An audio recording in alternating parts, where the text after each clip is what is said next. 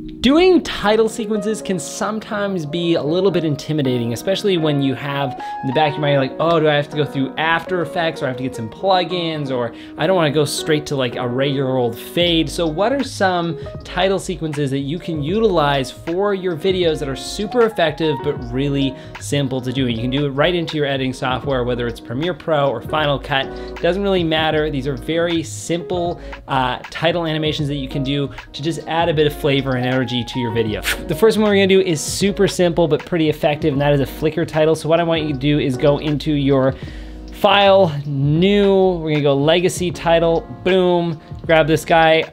I like just using legacy titles, I'm very used to it, so we're just gonna go with that. I'm gonna write my uh, text in, which is gonna say, hey, hey, it's Zach. Boom. Okay, so there we go. We have my title here. I'm just going to center it up. I'm going to make the font just a little bit larger, and then I'm going to make the size, scale it up to like 210, make it dead center. Okay, and now it'll be over here in my um, project bin. I'm going to drag and drop it and put it over top of my footage. And then what I'm going to do is I'm going to take my text layer and just move it up a little bit in my timeline. So probably move it, let's see, probably about a second. So then it pops up just like that.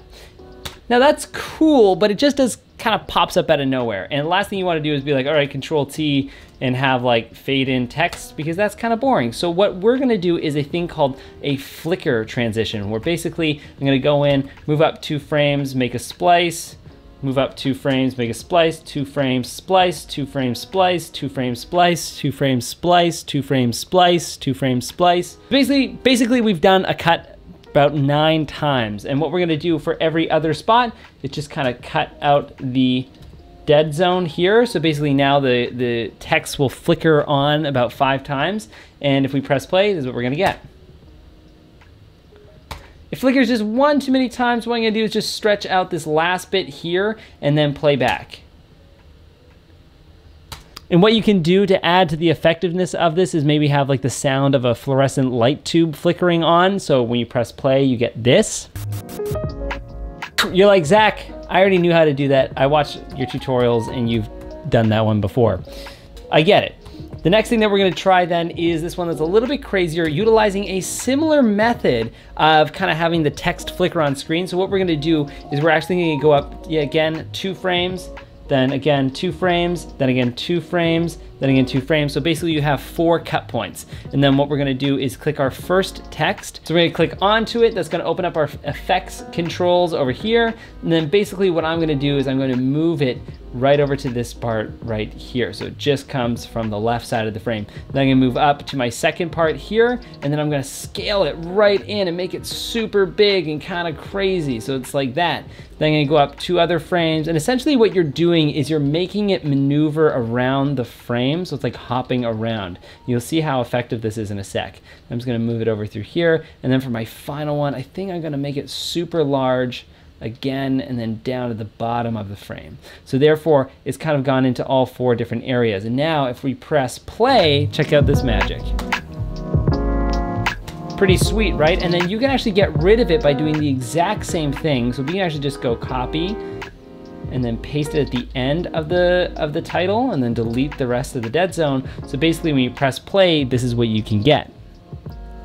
Okay, and then my final one is a text reveal. So you're like, Zach, you can't do that in Premiere. It's actually, again, pretty simple to do uh, text reveals in Premiere. Um, I've learned how to do it because I'm freaking stubborn. So what we're gonna do is find our text here that says, hey, it's Zach. And then what I'm gonna do is go and scale it down a little bit. And then the first step of doing like a text reveal is going into your effects bin, find your crop, and we're gonna drag and drop that and put that onto our shot. So the first step is to do a text animation where we're basically gonna keyframe it up. So this is gonna be our final landing spot, 540, which is dead center in the frame. So let's move up about a second and then I'm gonna make my position there. So this is where it's gonna end. And then I'm gonna go to the very beginning of my shot and just bring it down. Now with my keyframe marks here, I'm just gonna stretch this out, and with my keyframes, I'm going to select both of them, right click, and then go into here and do ease in. So that's just gonna make it ease into its animated spot, so it goes in nice and simple. So that's the first part of the process. The second part now is to play around with your crop. So click onto your shot, and then what we're going to do to make this effect reveal the text, grab onto your crop effect and click onto the bottom section. Now we're gonna, just gonna raise it right up here, leave it up at that spot, and now click the keyframe mark.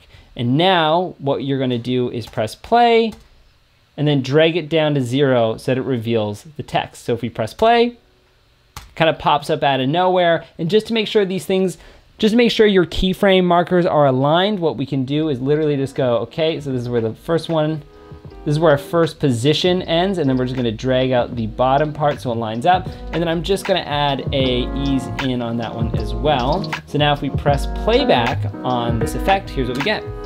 And there you have it. Those are three ways you can animate text in your videos. Software like Premiere can be very effective when it comes to animating title sequences. So play around with it, try it out. I'm excited to see what you guys create. Link that video in the comment section below if you've tried this out. Um, I'd love to see what sort of animated title sequences you've done. Thank you so much for watching. If you like this video and want to support me and check out more of my stuff, it'd be amazing if I get a subscribe, like the video, share it to all your filmmaking buddies who might be interested in this sort of stuff. I don't know. Um, and thanks again for all your support. Super cool milestone. I hit 30,000 subscribers yesterday, which is really, really awesome. So thank you guys so much for all your support just kick the camera. Thank you guys so much for all your support. It has been a wild ride and I can't wait to make more content, more videos more often. I'll see you guys later. Thank you so much for watching.